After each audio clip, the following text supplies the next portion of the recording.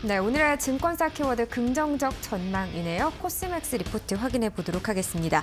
어, IBK 투자증권에서 이 코스맥스에 대해서요, 지난해 매출이 역대 최대로 나온 거에 대해서 좀 긍정적으로 분석을 했습니다. 국내 및 중국 법인의 고객사 매출 호조로 매출이 늘었다는 그런 분석인데요.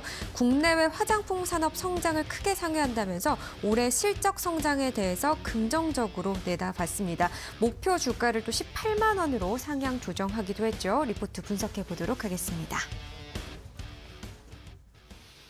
네, 코스맥스 사실 또 제가 듣기로는 어려운 환경이었지만 그 가히 multi balm이라고 아시죠? 네. 사용하시나요 혹시? 저는 한 번 정도 써봤습니다. 네. 어, 저도 쓰고 있는데 괜히 주름이 없어지는 것 같고 그런 느낌인데 이게 굉장히 선방을 했다고 하더라고요. 네, 맞아요. 그렇게 음. 이제 뭐 그것뿐만이 아니라 지금 전반적으로 좀 잘 되고 있다라는 점에서 좀 긍정적인 건데 어 근데 사실 우리가 그 화장품주 같은 경우에 작년 같은 경우나 이제 재작년 같은 경우에 굉장히 좀 뭐 흐름이 많이 안 좋았었습니다. 그래서 뭐 그에 따라서 실적도 굉장히 좀 안 좋았었는데 올해와 이제 작년 4분기를 기점으로 지금 완전히 좀 변신을 도모하고 있는데 그런 상황이다라고 좀 보시면 될 것 같고요. 예. 워낙에 뭐 주가도 눌려 있기 때문에 사실상 매수하기에도 굉장히 굉장히 좀 어, 부담스럽지 않은 자리다 음. 예, 이렇게 좀 말씀을 드릴 수가 있겠습니다. 그래서 뭐 작년 4분기 때 실적이 굉장히 좀 좋게 나왔습니다. 그래서 영업이익이 뭐 전년 비해서 한 188% 정도 예, 3배 가량 지금 증가를 했기 때문에 일단 실적 개선은 지금 뚜렷하게 되고 있다라고 좀 보시면 될 것 같고요. 뭐 일단은 뭐 8개의 메가이트 제품이 있는데 뭐 다 얘기는 할 수 없지만 이런 것들이 지금 내수에서 어, 굉장히 좀잘 음. 팔리고 있다고 합니다. 그리고 뭐 일본이라든지 중국 쪽에서도 굉장히 좀 호조세다라고 보시면 될 것 같고요. 뭐 색조 화장품뿐만 뿐만이 아니라 기초 화장품들도 이제 전년 대비한 매출액이 한 10%가량 지금 성장을 하고 있다라고 좀 보시면 될 것 같습니다.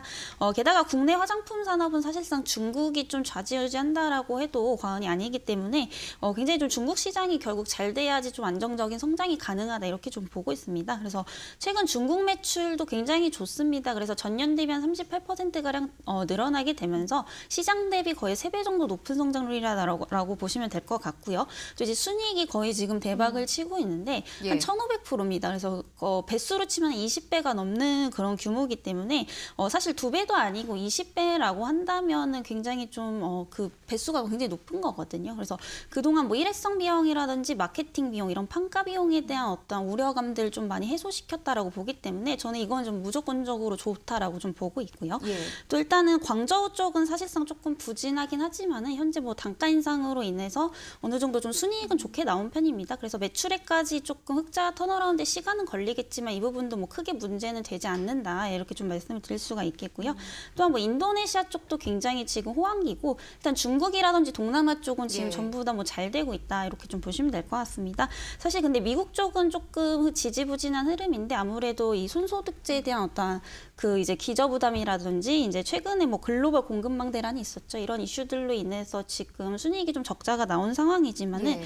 다행히도 지금 일회성 적자 가 382억 원대로 음. 계속해서 지금 축소가 되고 있다라는 점도 네, 좀 긍정적으로 보셔도 될 것 같고요. 일단 리스크 해소 측면에서는 좀 긍정적으로 판단이 되고 있습니다. 그리고 지금 미국 같은 경우에 최저점을 지나가고 있기 때문에 지금 시점에서는 이제 밑에보다는 위로 튈 가능성이 굉장히 높다라고 좀 보고 있고요.